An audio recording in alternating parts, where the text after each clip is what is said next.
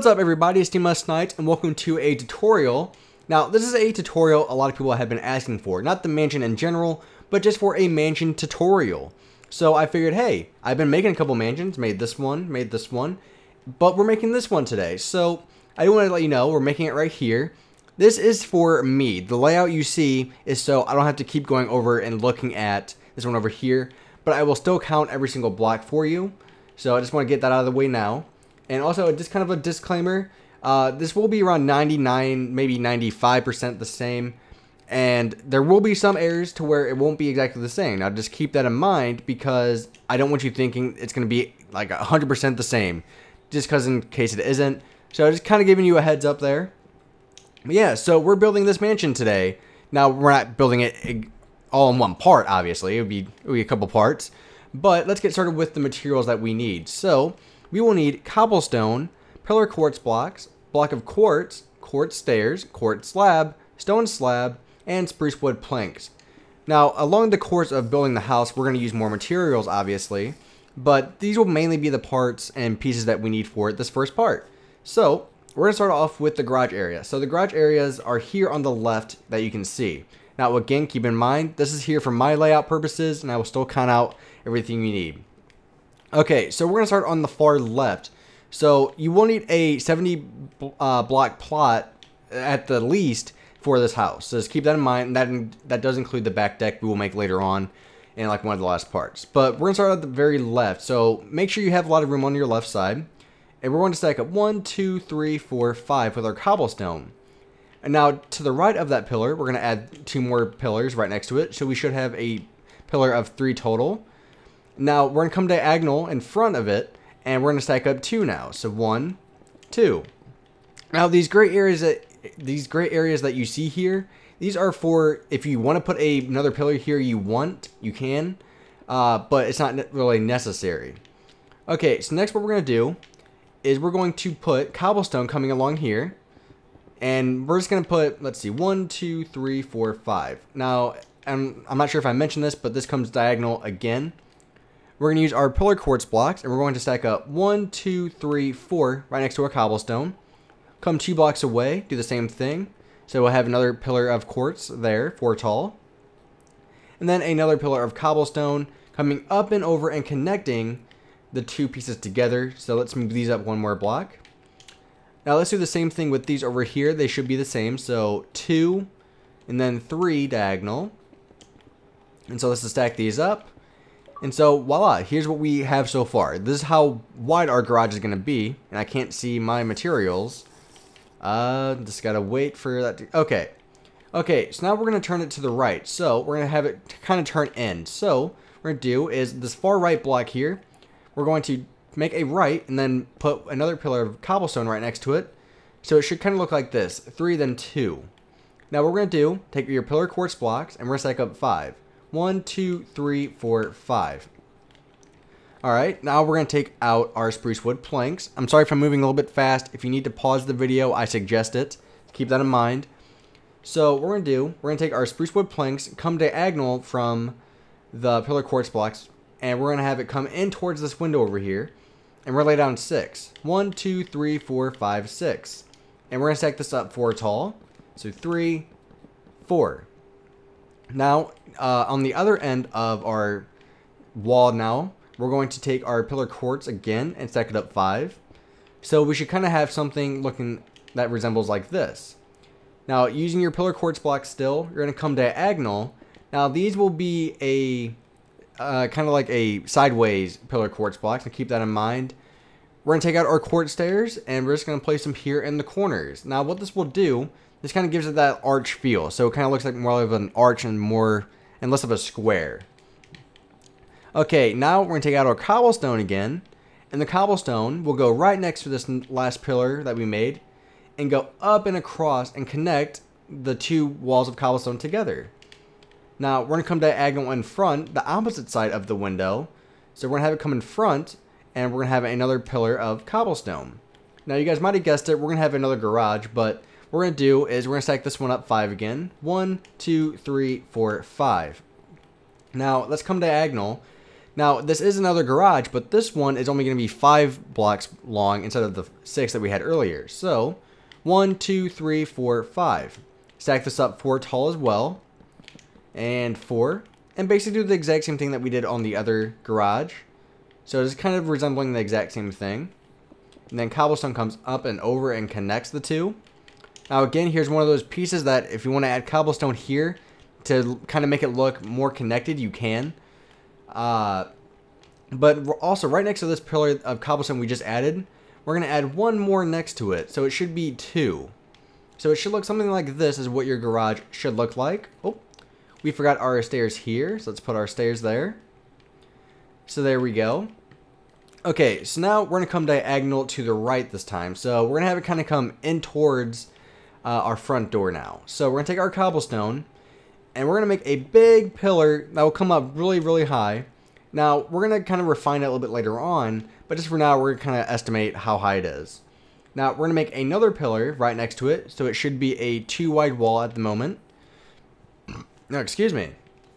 So one thing I want to mention is that the main floor of this house will start two blocks up. So, what we're going to do is we're going to lay down two things of cobblestone uh, off the ground. So it, sh it should kind of look like this. Now, I want to mention the reason we didn't do that with the garage is because the garage is meant to be on the ground floor to where the actual living area is meant to be two blocks up. So just kind of keep that in mind.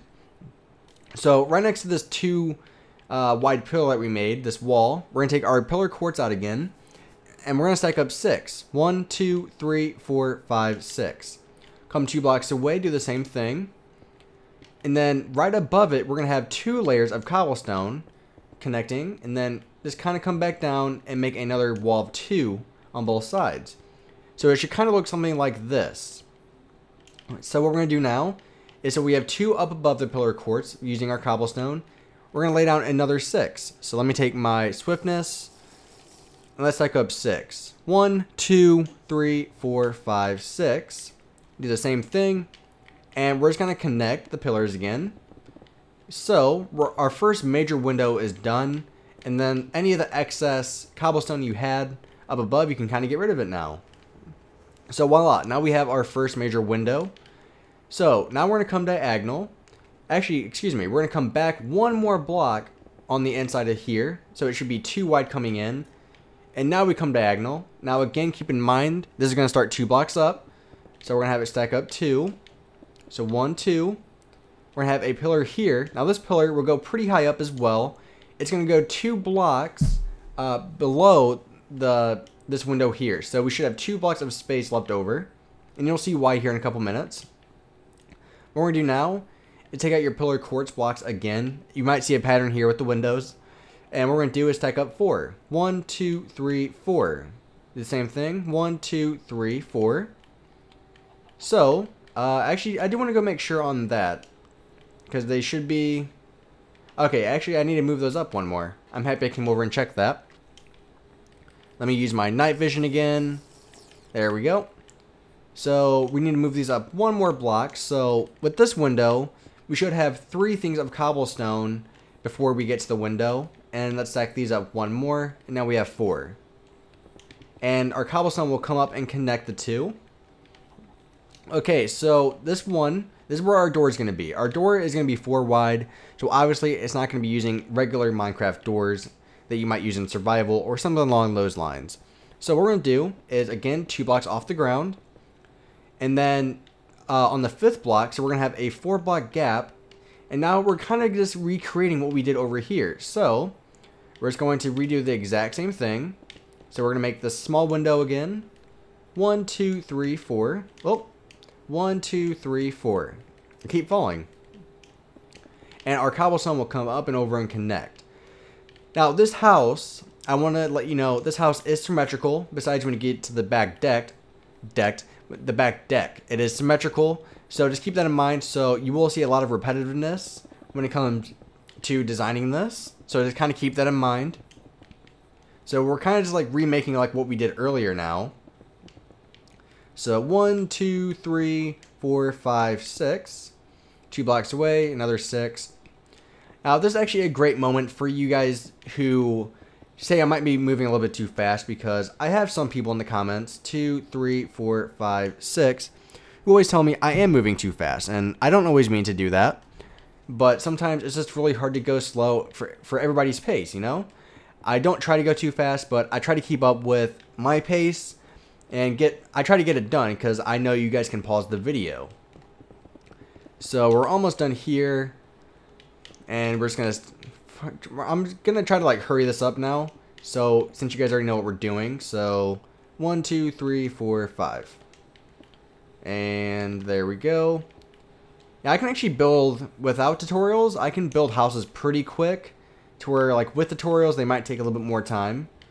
One, two, three, and four. But usually like people ask me like, how do you build your houses so quick? And it's mainly just because I've had a lot of practice building quickly.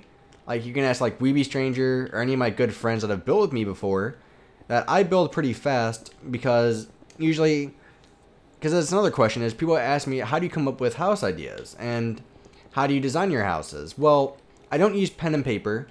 So that's something that some people ask me, but no, I do not do that. So just, I won't let you guys know that. Uh, but mainly, what's kind of like what you have to do is you have to think kind of like a chess match to where you have to think ahead. And you have to think, would this look good for the interior? Uh, would I have enough room for this? So it's kind of just like a big mix of thinking ahead. It's kind of like the best way I can describe making a house sometimes. Just because it's not always easy. Especially, a lot of people have asked me, like, why'd you get... Oh, I need to count this, so I'll get rid of this. Sorry, guys. I'll count that later on. Uh, here we go.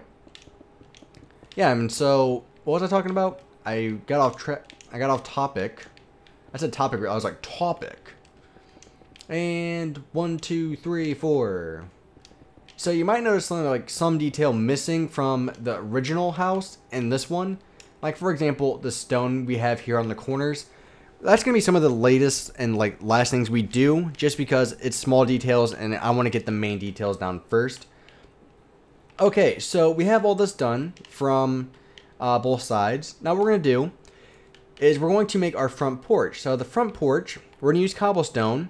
And right here, we have these two ends of the windows closest to the door we're going to come out two. One, two. Stack it up two tall. Actually, stack it up uh, one tall. Stack it up one tall. And once it comes out two, you're to have it come all the way over and connect with the other side. Just like this.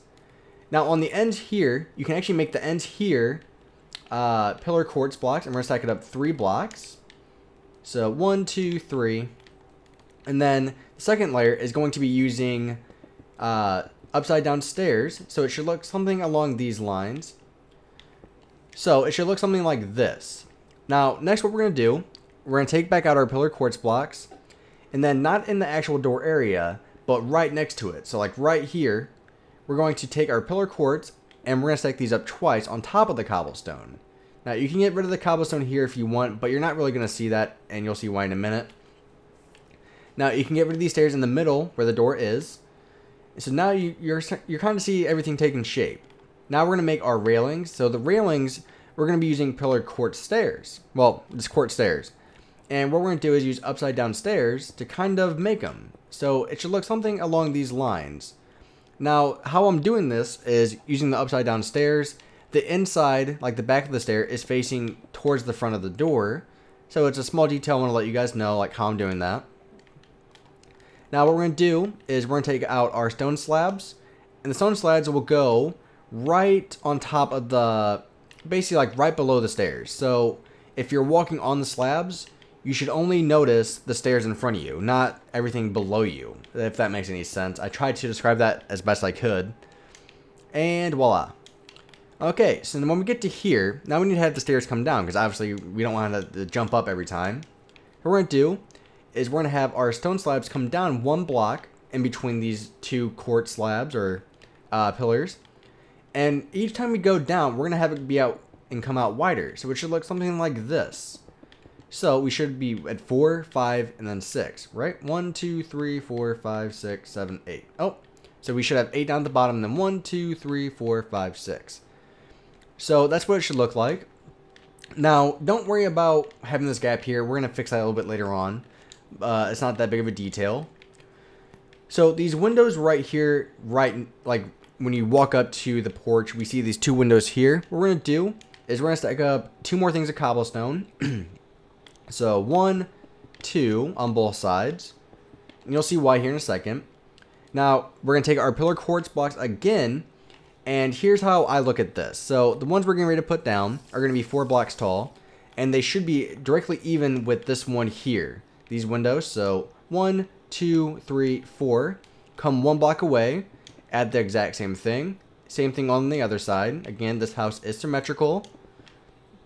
So it should look something along these. Now, this bottom quartz block is even with this one, and that's exactly how we want it. And now we're to have cobblestone come up and across and connect.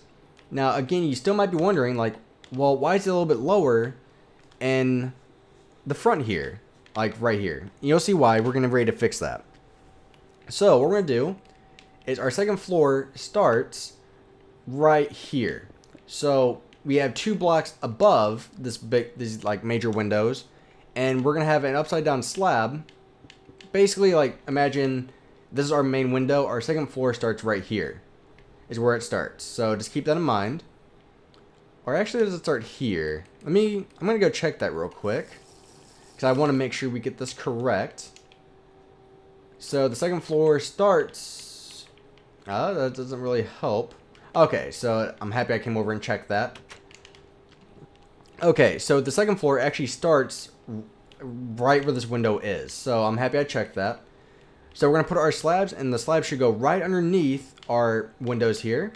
Is have the slabs come all the way across and connect with each side. Okay, so here's what we're going to do now. We're going to take our pillar quartz blocks out again. I know we're using them a lot. But we're going to stack these up all the way one block above our things here. Our slabs. Do the same thing with the other one. Now what we're going to do is take your block of quartz and basically, not the top block, but the top block, like the second to top block, we're going to put our quartz blocks here. Now we're going to have one on each side, like on the outside of these pillars. And then we're going to come diagonal and basically just have them connect with the house. Now, again, you might notice that this is diagonal. It's not fully touching like this one down here. And there's a purpose for that. It looks better without it. So I just kind of want to let you know why I'm doing that. Now take upside down stairs and put them underneath the blocks you just added. Now for this one here, what you can do is because it might look kind of weird having it look like that, right? So you want to put this one sideways and then have them come out like that. If that makes any sense. So we're going to turn this one sideways and then have upside down stairs connecting those. Now you can kind of see our front taking shape now. Now what we're going to do, take out your quartz stairs and make your railing again. Now this one here, what you want to do is this one, we want it to be facing the the outside of the stair should be facing the outside of the house. So we should have this block on the inside. If we had it facing like this, it would look kind of weird. So that's why we're doing it that way. Trying to like explain everything out for you guys. Come on, place it. There we go. Okay, so we have that. Next, what we're gonna do, take a pillar quartz block out, or just a regular quartz block, doesn't really matter. I'm gonna use a pillar quartz, and place one right behind the stair we just placed on each side. And then, using upside down stairs, use it to connect these. Now, again, this is supposed to be diagonal and not touching anything. It just looks better that way in my opinion. And voila. So there's our front porch. I feel like the front porch actually adds a lot of detail to this house. Now one last touch to it. Take your quartz slabs and place it on top of these pillars here. It's just a small touch, but it adds a lot. Take your stone slabs out and finish making your patio or balcony, whatever you want to call it. Alright, one last touch before we end the video we're going to take out our cobblestone again, and the cobblestone will go right here next to these windows. So we're not going to have an extra block of cobblestone on the inside closest to the door. And this one will go all the way up two blocks. So it should be two blocks above these windows. Do the same thing on the other side as well. Okay, now take your pillar quartz blocks out again and stack these all the way up and all the way up.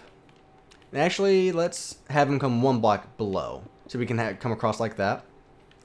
Now what we're going to do take your quartz stairs, and on the third block, we're going to place these. Now what this will do, this is for our doors. So if we want this to be a door, we actually need to be this, this has to be a full block.